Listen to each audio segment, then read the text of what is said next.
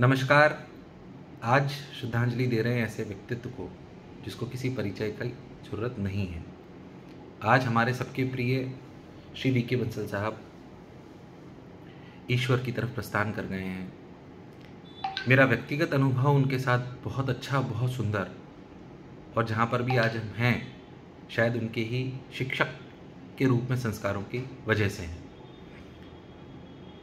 Bansal sir के बारे में मैं थोड़ी सी आपको बात बता दूँ। बंसल साहब झांसी बुंदेलखंड से आते हैं, झांसी की रानी वाले शहर से। वैसा ही जज्बा और जुनून उनमें पढ़ाने का था।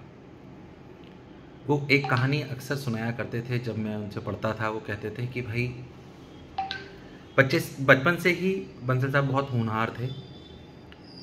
बचपन में बहुत गरीब परिवार से आप आते थे तो उनके घर में लाइट नहीं थी। सर ये हमेशा बताया करते थे क्लासेस में।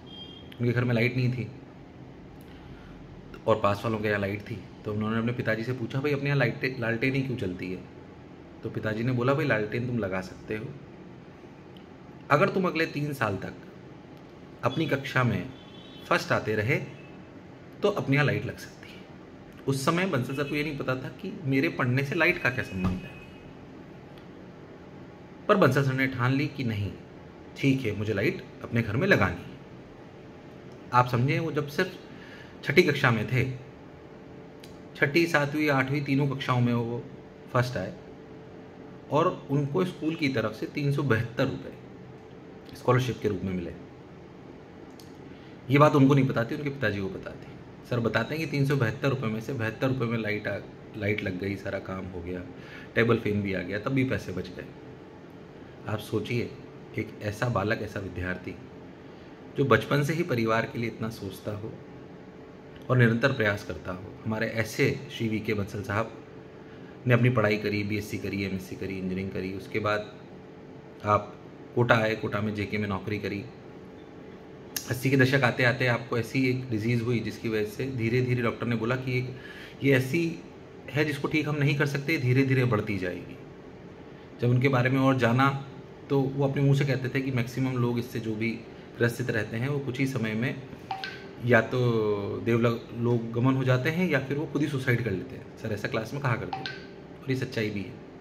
पर सर की इच्छा, शक्ति और कार्य करने की क्षमता अलग ही थी। तो जब जेके की नौकरी के बाद उनको बोला गया तो उन्होंने, उनको लोगों ने बोला कि अब आप नौकरी ज़्यादा दिन नहीं कर पाएँगे। तो एट्टी थ्री में उन्होंने प्रण ले लिया कि अब हम पढ़ाएँगे। और पढ़ाने को, कार्य को जो उन्होंने करा है, उसकी छाप आज हम सब लोग जानते हैं। कोटा देश के नहीं, विश्व के मानचित्र में एक ऐसा शहर है, जिस शहर के लिए प्रधानमंत्री कहने को मजबूर हो जाए कि शिक्षा की काशी, वो शिक्षा की काशी को प्रधानमंत्री के मुँह से कहलवाने का पूरा श्रेय अगर किसी एक व्यक्ति को देने की बात करी जाए तो मेरे हिसाब से वो श्री वी के बंसल साहब के अलावा और कोई नहीं हो सकता।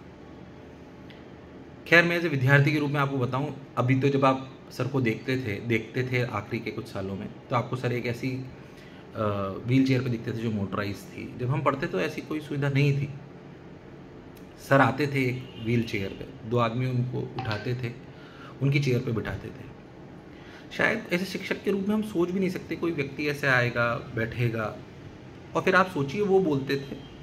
और एक टीचर था जो बोर्ड पे लिखता था उनकी कही हुई बात। उस टीचर को और कैसे लिखना है, इस बात के लिए सर दो कोई भी क्लास अगर लेनी है तो उसके लिए पहले बहुत बार प्रैक्टिस करते थे, ताकि सिंक्रोनाइजेशन रहे बच्चों का, समय खराब ना हो। वो अद्भुत था। जो विद्यार्थी उनसे पढ़े हैं मेरे समय के, वो उस अनुभव को जानते हैं। और अगर मैं गणित की बात करूँ तो उनका प्रेम क्या था गणित के लिए, शायद मैं आपको शब्दों में बयां भी नहीं कर सकता। मैं बहुत एक एवरेज स्टूडेंट था मैथ्स में, अच्छी थी मेरी मैथ्स पर एवरेज था, पर मैं आपको बता दूँ कि जब मैं बंसल सर से पढ़ा 2001 2002 में। तो आपको जान के आश्चर्य होगा, मेरे 30 में से 28 सवाल सही हुए। हालाँकि ये बात अभी कहने की नहीं है, पर मैं ऐसे ऐसे पता नहीं कितने विद्यार्थी हैं, और विद्यार्थी क्या मैं तो कहूँगा सभी शिक्षक। आप किसी भी गणित के शिक्षक से बात करेंगे तो आपको बोलेगा कि मैंने बंसल सर के नोट्स पढ़े हैं। ऐसे व्यक्तित्व, संघर्ष और इच्छा शक्ति की कहानी जो सर से हमने सीखी। बात आई विद्यार्थी की बात हमारे खुद के शिक्षक बनने की। मैंने उनके साथ व्यक्तिगत रूप से भी सर के साथ काम किया। एज ए टीचर क्या डिसिप्लिन एक होना चाहिए? मेरे हिसाब से वो सिनोनिम है उस बात के। बंसल सर खुद। एक टीचर के क्या दायित्व हैं? कैसे उसे पढ़ाना चाहिए? किन किन बातों का अनुसरण उसे करना चाहिए? उनसे बड़ा एग्ज़ाम्पल मैंने आज तक नहीं देखा। सर, आपके जाने की क्षति तो पूरा शहर, पूरा देश नहीं पूरी कर सकता। पर आपके दिए हुए शिक्षा के संस्कार हम सभी अध्यापक और व्यक्तिगत रूप से मैं ज़रूर अनुसरण कर, करेंगे। आप जैसे कि हमेशा बोलते थे कि स्टूडेंट इज़ अ बॉस उसका निरंतर ध्यान रखिए इस बात का अनुसरण हम हमेशा करेंगे। आप भले देव लोक गमन हो गए हों पर हमारी स्मृतियों में आप हमेशा रहेंगे।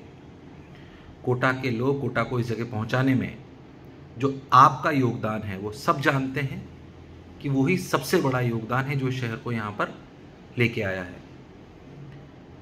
ज़्यादा बोलने में तो आज थोड़ा कष्ट हो रहा है, क्योंकि व्यक्तिगत रूप से सर के साथ मैंने काम करा, एक गुरु का दर्जा आपके रूप में, वो गुरु दोनों प्रकार से थे। एक विद्यार्थी जब मैं था, तब भी वो गुरु थे, तब भी वो मेंटोर थे। जब मैं शिक्षक बना, तब भी वो हमेशा से मेंटोर रहे हैं। जब भी जाते थे, जब भी सर से मिलते थे, मुझे सौभाग्य प्राप्त हुआ कि मेरे घर पे भी सर दो बार पधारे। बहुत कम जगह जाते थे पर पता नहीं मुझसे और आ, मेरी वाइफ दोनों से उनको बहुत प्रेम था लगाव था अपने बच्चे की तरह रखते थे। और दो बार मेरे घर पे पधारे।